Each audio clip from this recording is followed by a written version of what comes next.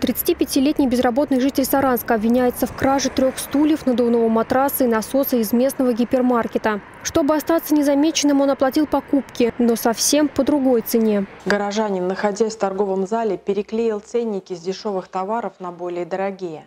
Затем фигурант расплатился за покупки в зоне самообслуживания и покинул гипермаркет. Помощь в транспортировке габаритных товаров злоумышленнику оказывал приятель, который ничего не подозревал. Ущерб от визита безработного горожанина составил 3,5 тысячи рублей. Это разница между настоящей ценой товара и деньгами, оставленными в кассе. Суммы хватило, чтобы завести на мужчину уголовное дело. После задержания в отделе полиции он не стал отрицать своей вины.